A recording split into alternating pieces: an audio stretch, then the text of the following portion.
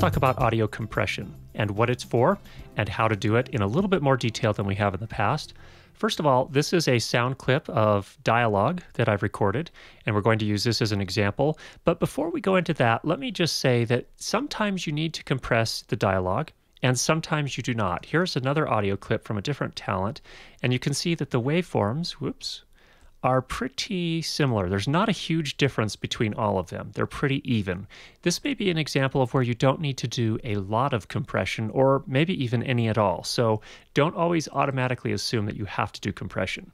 Here, however, is an example of where you probably do want to do some compression. So before we jump into this, let's just do a quick review on audio. And this is again a recording. Audio is recorded as a waveform, something that goes up and down quickly around a center line. And in this particular case, you can see our waveform right here. The two things that are important to understand are amplitude and frequency. Amplitude is how close to the top or bottom the waveform gets. And the closer it gets to the top or bottom, the louder it is, and that's called amplitude. Then, how frequently it goes up and down determines the pitch of the sound, and that's called frequency. So, with that out of the way, let's go ahead and take a look here. This is an example here of where I probably want to do some compression. And the reason why, as you can see, the first word in this little sentence here is quite a bit louder than the rest here. Again, amplitude determines loudness, if you will.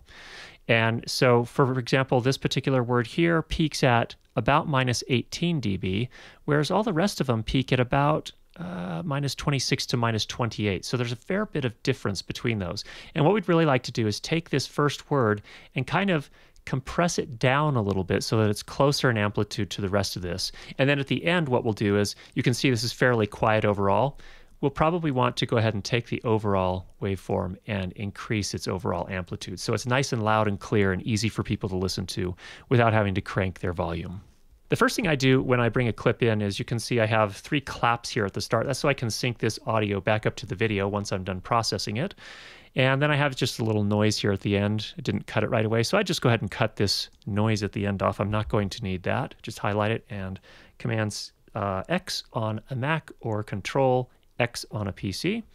And then what I do is I come over to the claps here. You'll notice the claps are quite a bit louder than the rest of the audio. I'm just going to kind of compress those manually here so they're about the same amplitude as the rest of the audio so that they don't, uh, when we do in the end finally normalize the audio and make it louder, that those don't get clipped off here.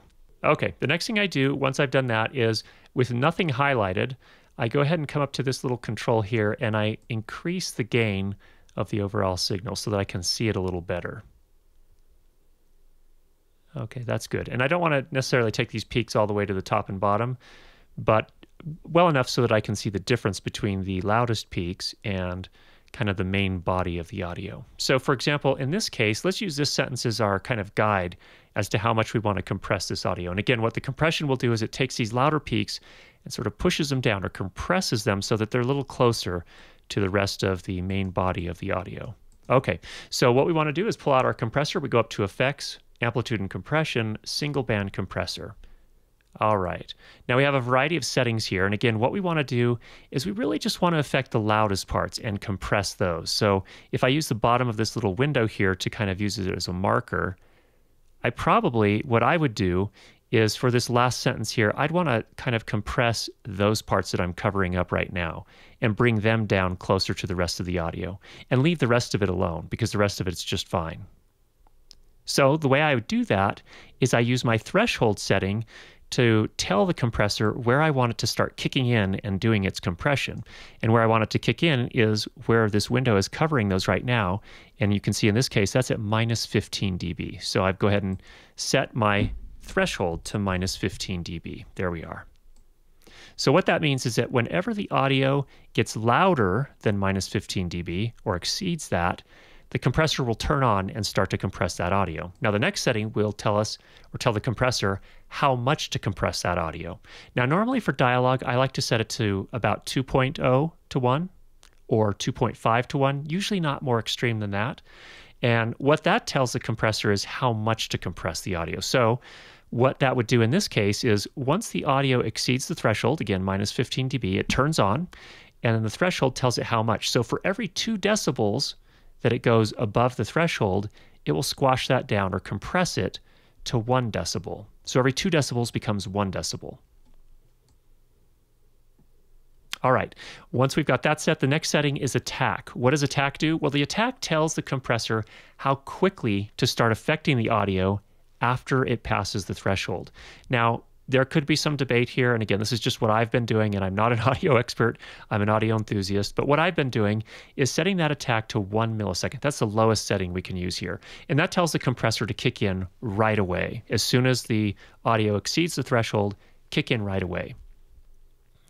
The release, on the other hand, is that after the audio dips down again below the threshold, how quickly to turn the compression off. And typically, you don't want to be too aggressive there because you can start to get a strange noise or sound that's called pumping. And what we're going to do in this case here is we're going to leave that at 150 milliseconds, which is usually something that works pretty well for dialogue. The final setting is output gain. And all this does is it tells the compressor, after it's finished compressing the audio, how much additional gain to add to the overall signal. So, how much to add to the signal like that go ahead and undo that because we don't actually want to shoot. I just wanted to show you what that means. And once we've got those settings set, let's go ahead and run through the compressor. Go ahead and apply.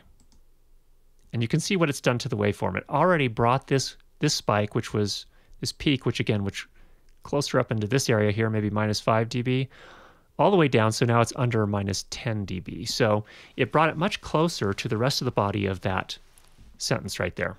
Now, let's go ahead and undo that for a second. What I forgot to do is actually play it for you so you could hear what it sounded like before. Let's do that. First of all, to prevent that, and second of all, if you do have that issue, how you can fix it in Adobe Audition. Okay, and let's go ahead and reapply the compressor. I'll just go to Edit and Redo Compressor. And let's go ahead and play it after. It's going to be subtle, but listen carefully.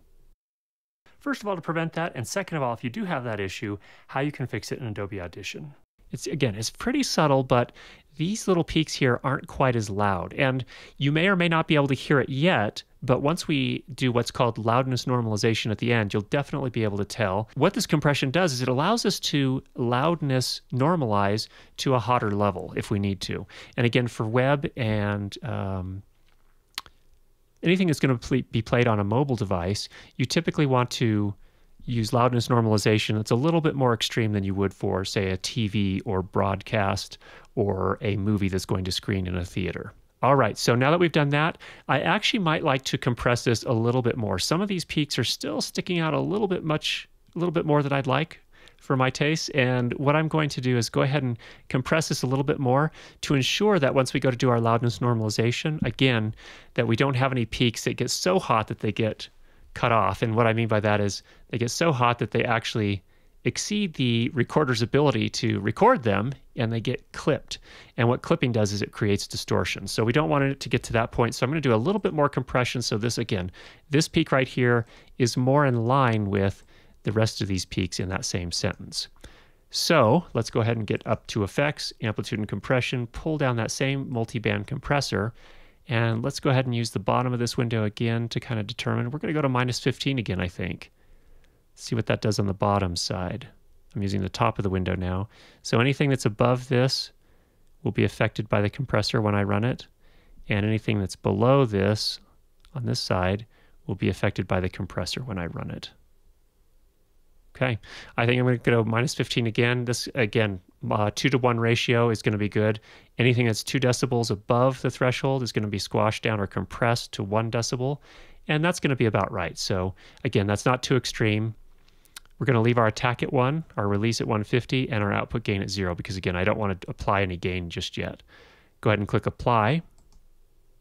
Okay, we're pretty close in line now. So let me go ahead and play for that for you again one more time. First of all, to prevent that, and second of all, if you do have that issue, how you can fix it in Adobe Audition. Okay, it's fairly transparent. You can't necessarily, uh, the most sensitive ears can hear it, but most of us can't tell that that's actually compressed a little bit. And the difference is, again, between the very first sentence in the, or word in the sentence is not that much louder than the rest of the words in the sentence. And so that's a pretty good start. Now, in this video, we're kind of out of time, so I don't have time to go over loudness normalization. Here's a link to another video where we talk about that and you can take it from here. So this would be the first step. I would apply any other effects you want to do. If you want to do some de-essing, some EQ, whatever that may be, I would apply those here and then do the loudness normalization. So I hope you found that helpful. Go ahead and leave any questions you may have down below. And if you haven't already subscribed, make sure you do that. We'll be sure to get you more great weekly episodes on how to improve your lighting and sound for video. Talk to you soon.